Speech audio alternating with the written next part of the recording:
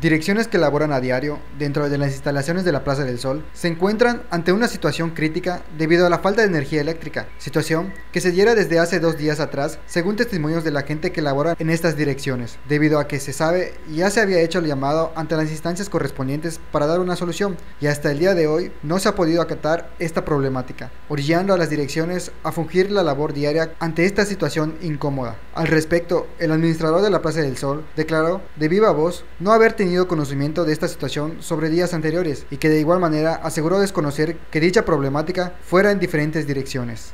Este, precisamente en este momento estamos haciendo una pequeña verificación y sí hubo un problema eh, en particular en una dirección, en la dirección de, gobierno.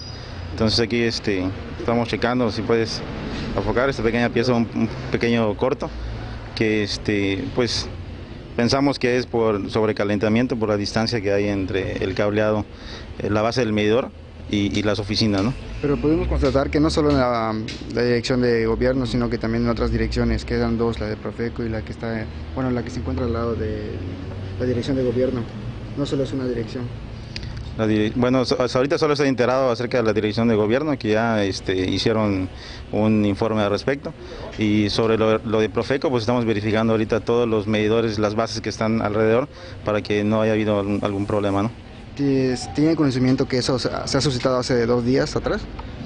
Eh, me comentaron el día de hoy que la dirección de gobierno no tenía este, energía eléctrica y también en el caso de la Profeco. Sí, precisamente en este momento estamos platicando con personal de la dirección de gobierno y ahí ya saben este, pues lo que hay que solicitar en cuanto al material para este, reemplazarlo. Es una pastilla eh, eléctrica, cuesta como 300 pesos tal vez.